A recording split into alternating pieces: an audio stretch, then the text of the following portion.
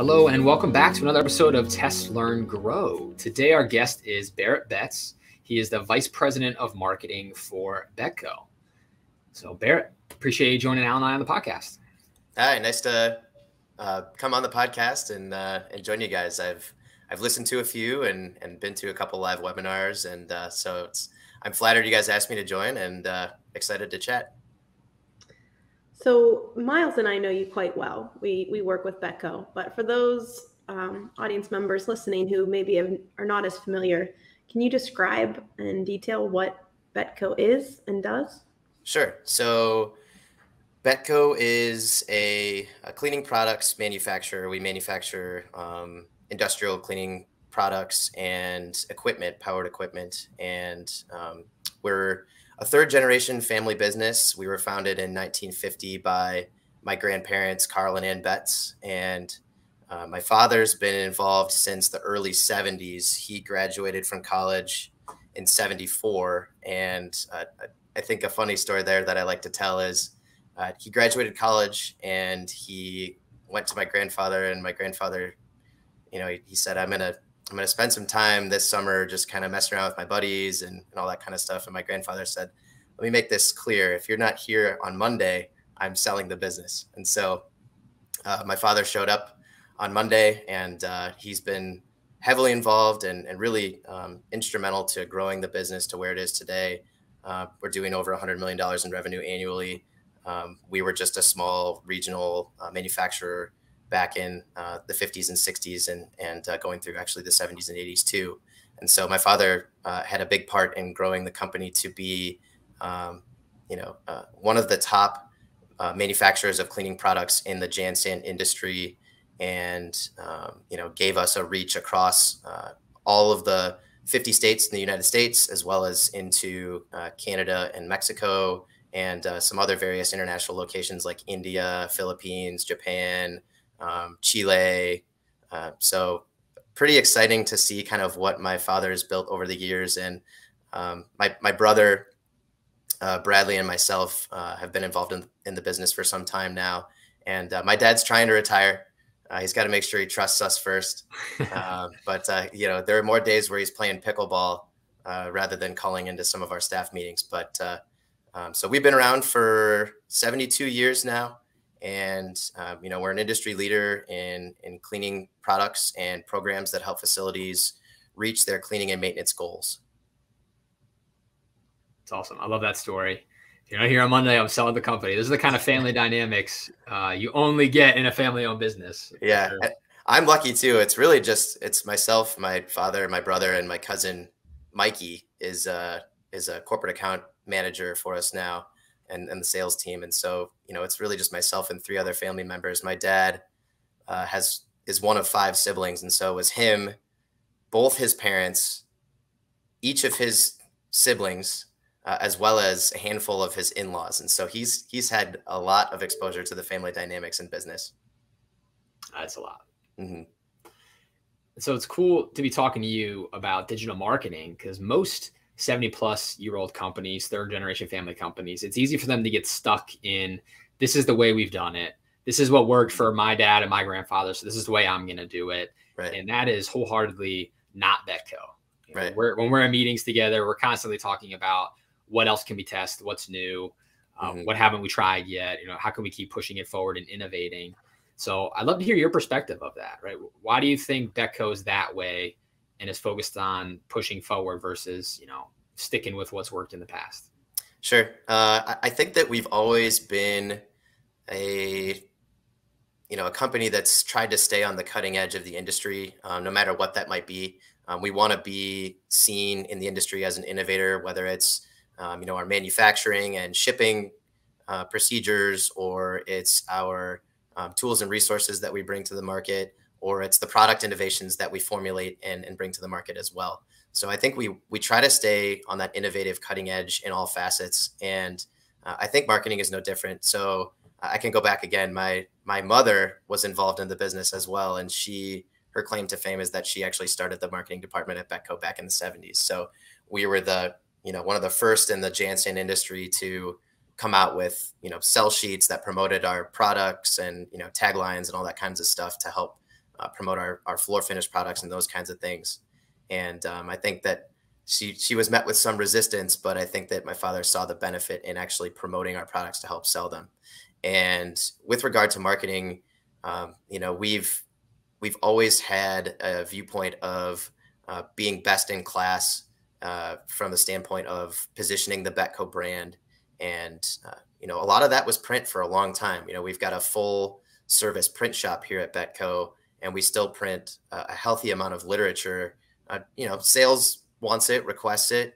Uh, the market wants it and requests it. But, uh, you know, within the last 10 years, for sure, we've seen a greater shift to digital marketing and uh, just in that spirit, that kind of entrepreneurial spirit, and staying on the cutting edge and leading edge. You know, how can we continue to innovate um, and push the envelope and reach our customers where they are? Um, and to do that, you know, we felt that leading in digital marketing, and we call it digital marketing excellence, um, being those leaders was really important for us. So you touched on it. Started by your mother back in the 70s. Continue today. You guys have your own marketing department mm-hmm. but you also work with us at level as a marketing agency. And for some folks, that's like a does not compute moment, right? So a lot of people we talk to feel like you have one or the other. Right. There's a lot built up about like perceived tension between internal marketing departments feeling like an agency is trying to take their job and vice versa, an agency feeling like marketing department is going to be fighting them every step of the way. That's not been the case in the way we've worked together or how at level works with other uh, members of our client teams. But mm-hmm. I'd like to get your perspective on it, right? Like, what's it like for you being a client and and you're the VP of marketing and you sort of have two departments that work for you. You've got your internal department and the level agency department. Right. How do you make it from your seat all work together? And what are the benefits that you see? Yeah. Uh, gosh, I think there's so many uh, so many ways you could go here. I think the key is is collaboration and i think that um, you know from our side of things we educated ourselves on some of the best um, modern digital marketing strategies and tactics and through doing that um, we ended up discovering level and um, you know i was then faced with the choice of okay we've got you know uh, we've got a great amount of expertise here internally. You know, we're fabulous at producing digital content. Um, we're fabulous at producing things that position the brand. Um, you know, we need expertise on how to utilize modern platforms uh, such as Google, Facebook, LinkedIn, YouTube, um, and uh, you know, modern marketing channels such as paid advertisement um, to leverage our brand even further. And you know, the choice I had was do we take time and build this expertise out internally here at Betco, uh, or do we partner with experts who already have that expertise? And for me, it was I kept picturing in my mind a a ramp, and you've got a you've got a ramp that's slow and gradual, or you've got a ramp that's you know steep and, and quick, essentially. So, um, you know, in our opinion, after we did some discovery sessions with the level team, I think the choice was obvious that, um, you know, in order to really build our expertise, target the audiences we want to target, um, and and influence people in the way we want to influence them digitally, that partnering with Level made total sense. And I'd imagine also the the stakes get high, right? When we're when we're talking about significant dollars being spent on campaigns, whether they're created internally or you know by an external agency, yep. that you could do a slow ramp up time, but it could be very costly um, yep. to, to learn those mistakes the hard way. Yeah, I mean, you're investing um, essentially in a in a in a full time team member, and uh, they may or may not have the level of expertise you're looking for, and uh, you know, because of that, you may be um, spending more money on advertisement than you would initially want to. Um, you know, but I will say I definitely went to uh, this was it was uh, you know full disclosure not in the budget in uh, in 2021, and I had to go to our CFO and say, listen, like this is this is a part of our marketing strategy going forward, and and essentially get his buy-in. So, uh, how did you? Yeah, that see that's that's fascinating. How did you do that, Barrett? Because I think you have a vision. Um, you're back to you know cutting edge Betco, trying to be where the puck is going to be rather than where the puck is now. Mm-hmm. um, I think it would have been easy for a lot of people to say, "Hey, we're really successful. We have a strong marketing department. Barrett, what what the heck do you need more money for for these digital marketing guys? Like, you don't even know it's going to work." Right. What was your comeback to that? How did you, you know, you took a gamble, right, with your yeah, my sales pitch. Yeah, give us give us your sales pitch. Uh, gosh, I'm trying to remember. Well, I was sitting with uh, I was sitting with our CFO and our controller, and um, you know, I, I think I pretty much told them, uh, you know, I can I can ramp this up slowly internally, um, or we can ramp it up quickly externally and, and partner ourselves with um, a digital agency that really understands how to make these platforms and channels work for you.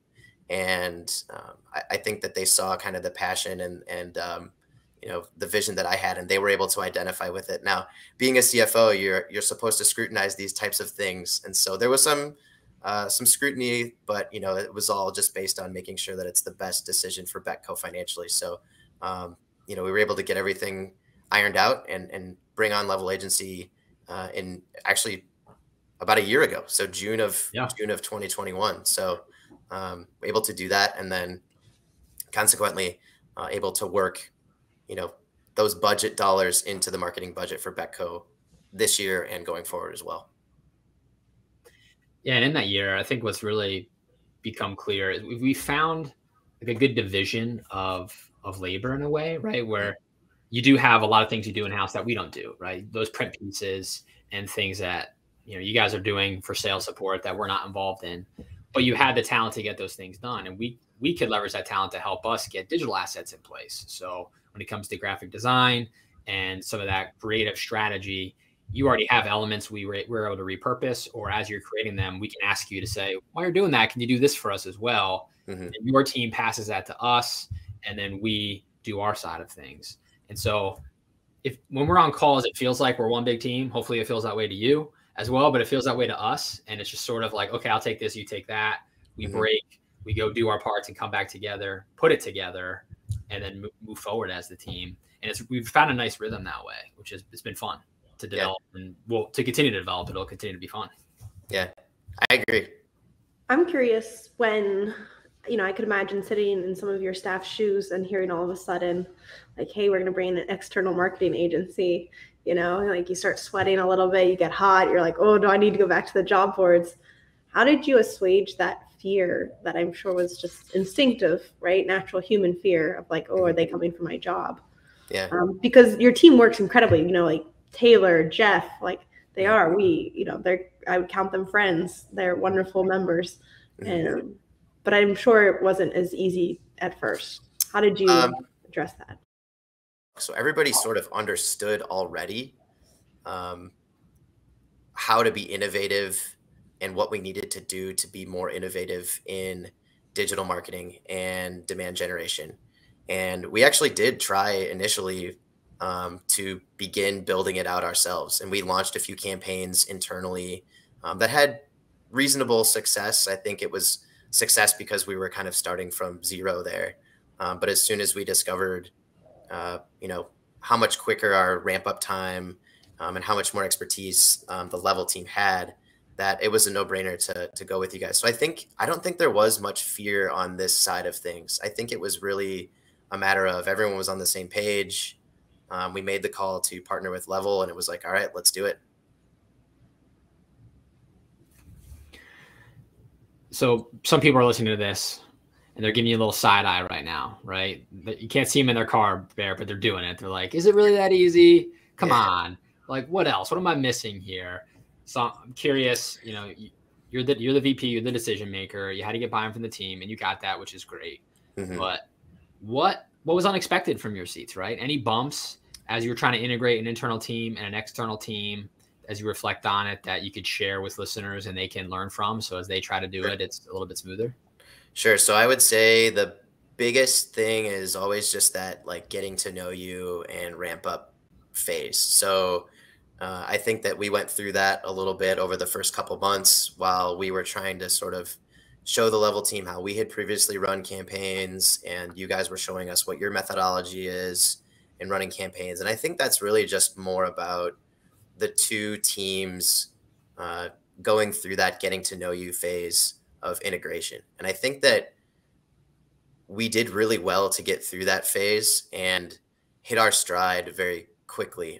But I will say that you know if there's if there's a, a you know a future client out there, um, you know I would expect that even though um, you're going to have that getting to know you phase, that you know within that six first six months, you're going to start really seeing progress being made, and you're going to feel that um, you know if you on on the client side are committing to the agency side that you're going to start seeing that collaboration really take off but i think you get out of it what you put into it and what i would say is that um, you know the betco team is fully bought in as to kind of what the strategy is here and i think the level team really has done a fantastic job of getting to know betco and knowing what we care about and uh, that has enabled us to really i think come through with some solid ideas, um, solid campaigns. There's always new new things going. So I, I, think that you know the biggest challenge in my mind again would be that getting to know you period, where you're just integrating each other's methodologies. But um, you know if you're committed to working together, then like I said, you get out of it what you put into it. Yeah, totally. And I think you mentioned everybody bought into the strategy. I think one thing that we did that's been super helpful this year we created that strategy together, right? When we sat down to do annual planning, we got through that initial get to know each other phase. Like, all right, now that we've, we've figured it out, we know what we got to do. Let's talk about how we're going to do it. Mm-hmm. And we got on the same page, you know, 12 months ago. And so now in 2022, we've had the plan that we can then execute against and work from. The vision's clear for everybody. Everybody knows their role, and mm-hmm. removing any of that confusion, I think, has been instrumental in making sure the the two teams function as one team instead of feeling like they're rowing in opposite directions. Yep. I think the clear thing too is, uh, and you kind of touched on it a little bit, Myles, but knowing who's doing what, right? So we've got capabilities on our end, levels got capabilities on on your end, and just knowing, okay, I think it did start with mapping out kind of our strategy for 2022, and so we know what's coming, um, and uh, we know what sort of content we want to produce, we know what sort of messaging we have uh, or want to launch and just making sure that you have a clear path of who's doing what in regards to content creation, um, always communicating. Uh, those sorts of things are really important, and I think that we execute on those very well as a, as a partnership. I don't look like you were going to say something before, and I kept talking, so pausing we can edit this out uh, i'm just ruminating on like it doesn't matter how much money your company you know has to spend or the weight of the agency behind it if you don't have a solid partnership where two sides genuinely see each other understand the business goals and respect each other mm-hmm. um, it doesn't it doesn't work and you know you we've seen that in, in different situations Myles and it's just without partnership, it all falls apart. So, right. How, I'm gonna ask. I'm gonna turn the tables here, Myles. Me, I'm gonna put you in the hot seat. How do how do you develop? I think you're you're an expert at crafting relationships. How did you craft partnership with Betco with Barrett? Well, I appreciate that compliment. I don't know if I would self-identify as an expert. Uh, I feel like there's always room to improve to get to expert level, but I think you know at the end of the day, you know, we did a podcast recently about soft skills, Allyn, right? And it's this idea that you know technical knowledge or technical skills is important, but at the end of the day, we're doing business with people, and so getting to know Barrett as a human, not just the VP of marketing at Betco, me sharing personal details with him, him sharing personal details with me, helps to form the relationship that the partnership's built off of. So taking time to not just be all about business, I think is really important, especially in the beginning because we have to like to work to, with each other and like each other to want to move that forward. Otherwise, I don't think the partnership grows. It becomes more that like Bear would be like, here's my vendor, and I'm going to say, I need you to do this, and then he's going to hang up the phone. Versus, we've talked about where our family's vacation and what we're doing and things like that. And it's, mm-hmm. you know, I think uh, like you mentioned friends earlier, Allyn, like a, a friendship and mutual respect grows. That makes the business relationship even more productive. So to me, I, I think it's that. I don't think there's like a formula for it. It's just take genuine interest in the other person on the side of the, the, the video call or phone call, get to know them and their business. Because if you only get to know the business and not them, then I don't think you'll go as far as you could. Right. And it, it almost sounds that when you first hear it, like an oxymoron. You're like, why? You know, we're here to market, we're here to sell things, we're here to help you reach your customer generation goals. You know, why do I care where you know that you like to ski or where you vacation? You're like, well, and there are agencies, right? And there are people, you know, that are like that and are like, let's go, let's go, let's go. We, you know, we've encountered that.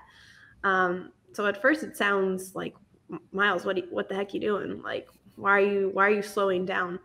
But to your point, great marketing solves problems, right? And if you don't truly understand the human on the other side of the, the screen, especially in, in a remote world, how can you help solve their problems? Because it comes out in organic ways, you know, what what Barrett needs assistance with, what what Betco needs moving forward, going forward, um, that you couldn't just simply get if we sat down for a one hour strategy meeting and then said, okay, see you later, catch you, catch you later. Yeah. I mean, what's what's funny about that is, you know, it's our relationship building has been like entirely remote, you know. Um, and uh, I've even like made comments to Taylor and, and Jeff and been like, yeah, it'd be cool to, you know, meet meet up in person. You know, we're not too far away. Um, yeah, we should. But, we really need to for sure. But I would say that you know, um, I don't know. It's it's just been sort of an organic growth in um, strategic alignment has led to trust, has led to you know building out a more personal relationship, and I think that enables us to um, ideate and strategize more freely on you know what we're launching now and going forward.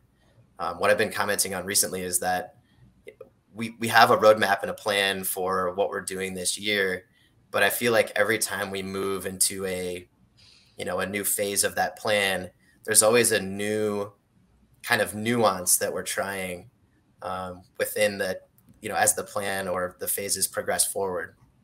And so I think um, that brings up another point is you know just being open to trying and testing. I mean that's kind of the level mantra, right? Is is test, learn, grow. So you have to be open to trying uh, different things with uh, campaigns you put in market, uh, because that's what's going to give you the real insights on uh, what's resonating with your audiences. And uh, I really have enjoyed how the more we move forward, the more we introduce new nuances to what we put together, and it helps, I think, make the campaigns and ultimately the relationship stronger.